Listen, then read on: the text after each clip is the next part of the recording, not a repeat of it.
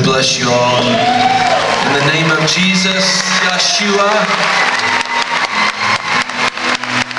may his favor rest upon you. May he give you great peace. Go before you in all that you do. May he draw you near to him in an awesome way. This, this whole thing is about surrender, girls and gals ladies and gentlemen. It's all about surrender. And may we just totally surrender to Him. When we fully do that, the world will change. So that's our prayer for you. And Steven, oh mighty man of God, we love you.